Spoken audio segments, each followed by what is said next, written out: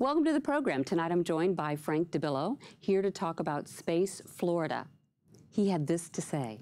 There were many people who believed that with the retirement of the shuttle, the space program in Florida was dead. Right. And there, nothing is farther from the truth. Uh, the spaceport today is uh, committed to 33 launches this year. Elon Musk, who's the founder of mm-hmm. SpaceX, Right. is planning on doing close to 50 launches a year by himself. That's fabulous. When Jeff Bezos with Blue Origin starts to mm-hmm. fly, he's looking at flying at least once, perhaps twice a week. Now we're up to perhaps somewhere between 100 and 200 launches. And if I add United Launch Alliance and Virgin Galactic on mm-hmm. top of that, we should see more than one launch a week, perhaps two launches a week before Oh, long how out of. Florida. And I predict a very robust space program for Florida. Frank DiBello and Space Florida when we return. Funding for your career is provided by Rockwell Collins. Additional funding provided by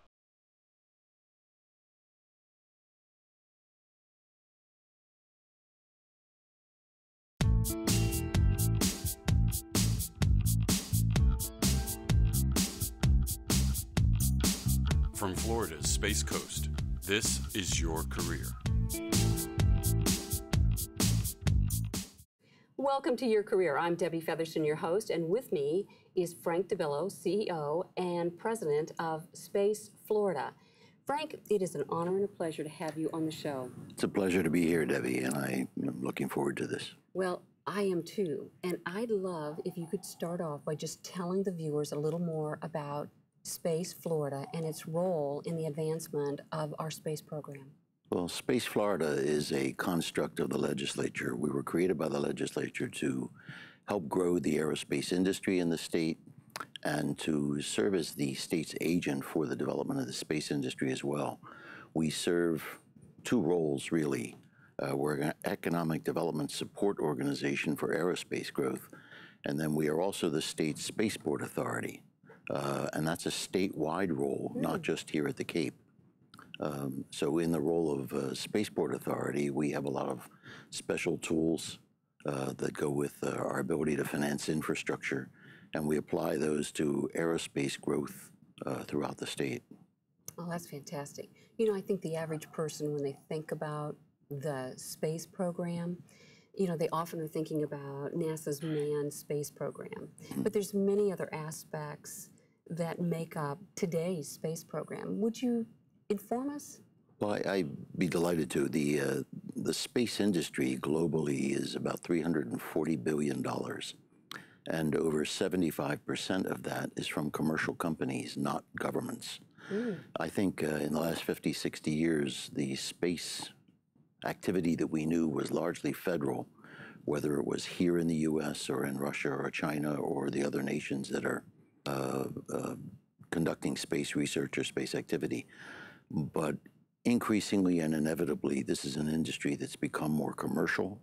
And uh, I expect that uh, we'll see uh, every, every few years uh, major new applications of space technology to our everyday lives. The bulk of the industry is, are people who have taken space assets, satellites, and other things, and are applying them in some form to benefit our life here on Earth, whether it's in remote sensing, helping us monitor the environment, or uh, search for uh, minerals or assisting agriculture, or whether it's in telecommunications, providing uh, internet service globally, or uh, images from global, uh, Google Earth and programs like that.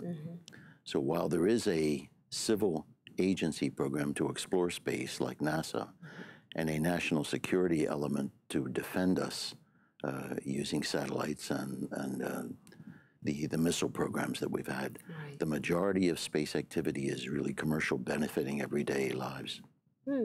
Tell us a little bit more about this commercial, some of those commercial um, entities and some of the work that they're doing today.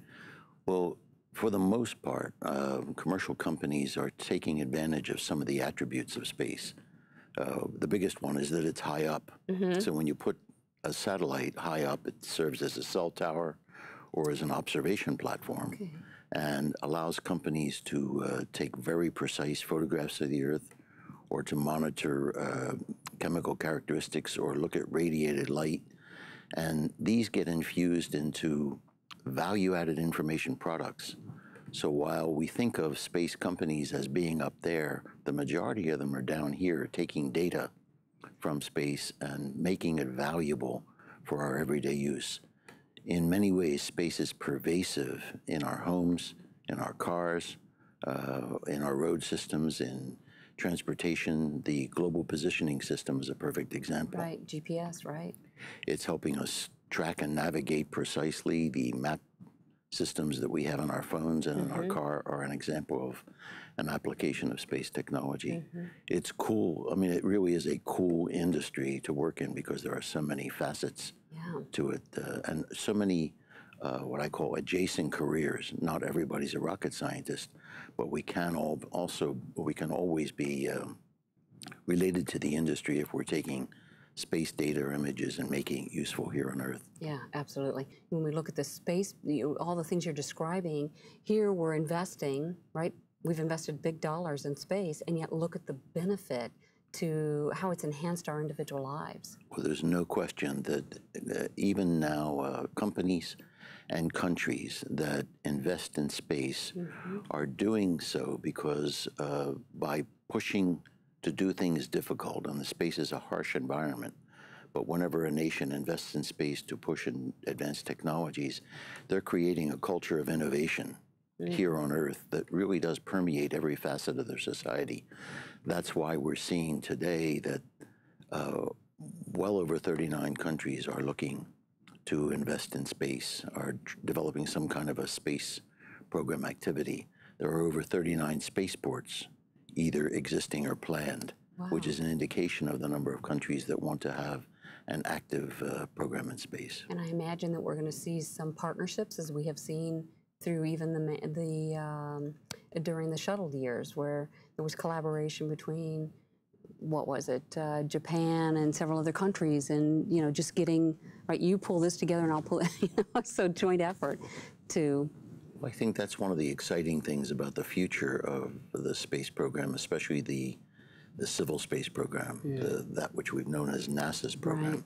NASA is charged uh, with developing the capability for the nation to explore space, and so they're focused very much on deep space exploration, and the equipment and technologies required to do that are are complex and difficult to advance and expensive. And this will be done through partnership with other nations. Uh, and it actually benefits other nations to work in partnership and may contribute to collaboration in so many other areas. So it's to our well being to, to be able to pursue those things. sounds like it makes a lot of sense. It does. You know, a lot of good sense. Well, tell us uh, from your perspective and what you what you're able to tell us. Um, what does the future of the U.S. space program look like? Well, I think that uh, uh, both in the last administration and certainly what I hear coming out of uh, the, the present administration, there is going to be a focus on, on trying to drive NASA to deep space exploration and to turn over those things which we've been doing in low Earth orbit and even around the moon to commercial companies. As NASA looks to deep space exploration, Mars and beyond, they're going to have to develop the technologies in propulsion to get there faster, in life support systems to keep our astronauts alive during these very long trips. Some of the approaches to reaching Mars and beyond have involved uh, the development of what they call a cislunar staging area. And so NASA may focus on getting to the moon and with industry partners, uh, building a, a, platform as a staging area, something that's orbiting the moon. Commercial companies may actually go to the surface of the moon and begin to um, develop habitats and rovers and, and to even exploit the technology or the materials that are uh, lunar based. Um, bring some of those back to Earth. I know there'll be a lot of activity in low Earth orbit, close to Earth, uh, for doing research because you can take advantage of I mentioned the attribute of high upness, Right. but there's also the attributes of high radiation environment or a vacuum uh, or zero gravity. And all of these can enable new kinds of research and exploration into uh, new materials, new technologies, medical advances. Boy, I tell you, just hearing all of that and, and, and having read some about some of this for several years, I keep thinking, gosh, if I had my career to start all over again, maybe I'd have chosen a different profession. Because some of what we're, where we're going, I think, is so fascinating. Well, it's fascinating, and it, it, it's also very interesting to think that the people who will be going to Mars, because I expect 20 years out Yeah. or 10 years out, we'll be going to Mars in an unmanned fashion to study, to uh, exploit, to land on Mars, and to uh, do a lot of the prep work for manned exploration. 20 years out, I expect to see manned exploration, and that tells you that Wow. the, the kids that will be astronauts going to Mars are in young high school and grade school today. Yeah. So it is important to catch them early. Mm. Uh, I got into the space program uh, years ago because as a kid I was interested in how you could doodle and draw an airplane, and then how does one make something out of metal that flies from that drawing? And Right. the whole art of aerospace engineering was fascinating to me. Space, I don't know a youngster that doesn't get turned on by space and rocket ships and Right. things that are uh, truly uh, out there. I was going to say out of this world. And we want to capture that interest early and trying to get them involved in the sciences.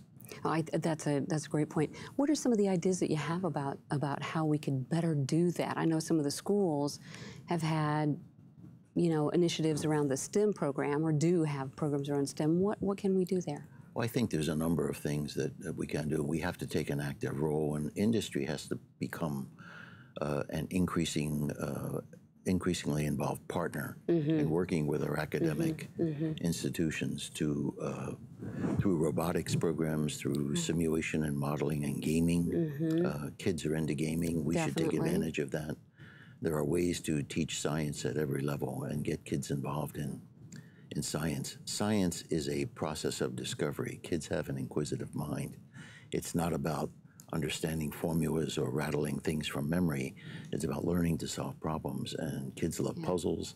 I think we need a more active collaboration with the schools to get kids involved earlier Right. in understanding what's going on around us and to observe mm-hmm. things in, in the mm-hmm. biological world and the chemical world and the physical world around us. Yeah, I, I think you have a great point. I have a friend who is a, des- a senior design engineer, and he has been with a concentration in radio frequency. He's mm. been involved in radio since he was about 10 years old. that's the time to, You to, get, know? to get youngsters involved Yeah. in things. Yeah, Just being able to communicate with other people in different parts of the world using what were ham radios years ago. right. That does get your, your interest going. How Yeah. does it all work? Yeah, and we still have ham radios today. We, we do. Oh, A lot of hams operating radios too. Uh, That's right. I was going to say so, and I might be one of them. Uh, But um, how will this impact Florida? You know, the, we're just talking about the U.S. space program. How will it impact Florida? Well, I have always believed that, that Florida, and uh, we've set some goals for Florida, both in aerospace and space, but I want Florida to be the gateway to the stars. And I know a lot of uh, nations may aspire to that, but we have always been the embarkation point for manned flights, certainly to the moon and to the space station. But I see uh, the Cape Canaveral Spaceport as an example. Uh, the way that I looked at London uh, centuries ago, it was the port that opened up trade and commerce in Europe Right. and uh, was a gateway for uh, all kinds of economic growth for its industry. I see Florida as the global leader in enabling space commerce, and that's the, what I'd like to work to position Florida to become. That's a goal that we set. We laid out a plan for not only the evolution of our space activity, but the growth of the spaceport to accommodate commercial customers Yeah. uh, to make that happen. Now that's fascinating, and, and I would be right there doing whatever I could to help you achieve that goal. Well, you are actually know. through through a program like this because the foundation for whatever we aspire Mm-hmm. to in space and in aerospace is the young workforce So anytime we can help them understand how their careers uh, can be connected to Right. uh, uh, such an interesting uh, program Yeah. is, is a good thing. Yeah, and I think you're right. You know, the earlier we can help those children discover their passion, you know, really tap that curiosity and keep them excited and inspired about space and different aspects of space. Uh, I've got a grand, grandson that really loves robotics, mm-hmm. and I could see him really involved in the future of, of the space program. So, another one's is crazy about gaming, and he's creating his own game. I mean, all these are just And they are all great tools Yeah. for solving problems. And uh, I think one of the uh, most interesting programs on television is Crime Scene Investigation. And there's a young female star who plays a scientist role in the laboratory. But she makes science cool. She does. Because she's using science to solve problems. And kids relate to that. Yes, they do. And they they love puzzles, they love Yeah. the ways to, um, Yeah. to take things apart and understand how they work. Tap into that imagination and curiosity. That's great. So, you know, we while we're still talking about the U.S. space program, I'm just kind of curious a little bit about um, some reports that came out a couple months ago that we were supposed to be seeing. We are, and I think we have been seeing more launches out of Kennedy Space Center. So, what do you know about that? what can Well, you tell uh, us? I'm very proud of the fact that today, uh, and I'm going back seven years uh, because the, there were many people who believed that with the retirement of the shuttle, the space program in Florida was dead, Right. and there nothing is farther from the truth. Uh, back seven years ago, we had just come off a period of time in which federal government was the primary uh, enabler for space, both in the military side and in NASA's world. Um, and with the retirement of the shuttle, there was an economic hit and a workforce hit to this mm-hmm. area. Mm-hmm. But we set a goal to diversify the program so that today we're no longer just launching stuff.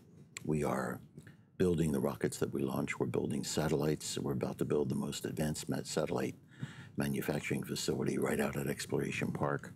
And we're attracting all kinds of other businesses that want to be close to and provide supply chain for these major mm-hmm. companies doing these great things. The spaceport today is uh, committed to 33 launches this year.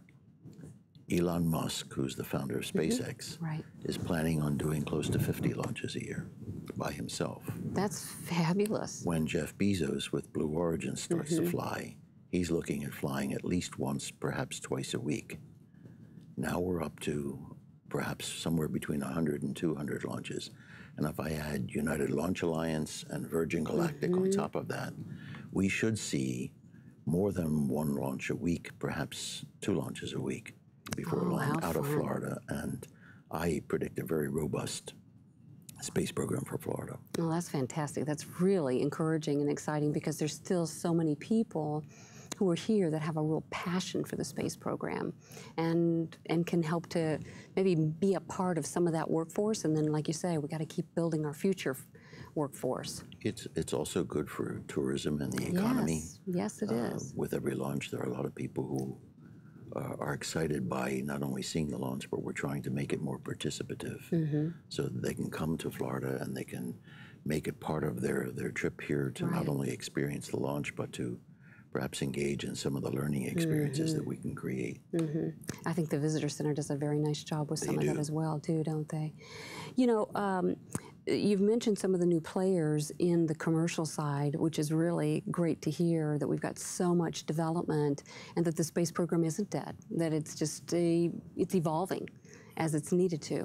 And I understand that uh, President Trump recently signed the NASA Transition Act, and I don't have the precise name, but tell us a little bit about that and how that's going to impact the work that you do. Well, it's a, uh, I think it was six hundred uh, million dollars over what President Obama's request for Okay.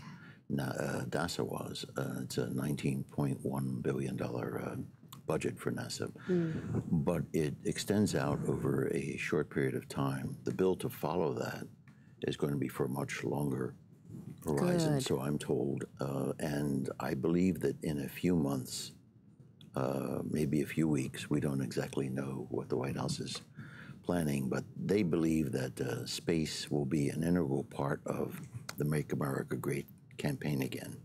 So they're planning a pretty big space activity, a space announcement of not only a mission for NASA that gives them a focus on Mars and beyond, and I stress the and beyond, but also talks about partnership with industry and partnership with other nations.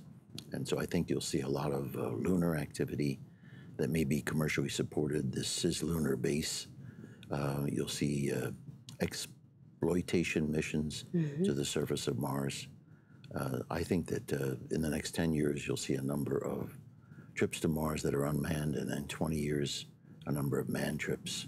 And in the meantime, we'll be developing a lot of the technologies required to do that. And this is very exciting uh, for me and for everyone. Uh, absolutely. And one thing that you said that really uh, got my attention was the fact that perhaps in this next budget, it'll be for a longer period of time. Because I think that's been one of the biggest problems that the space program's had, is that the budget is always dependent on each administration coming in. And I, I don't know how long they're looking at, but I would love to see a window of 10 years or something that goes way beyond an administration in terms of funding. So instead of stopping and starting and stopping and starting some of these programs, I mean, we're, seems like we've invested lots and lots of money, and then new administration comes in and pulls the plug.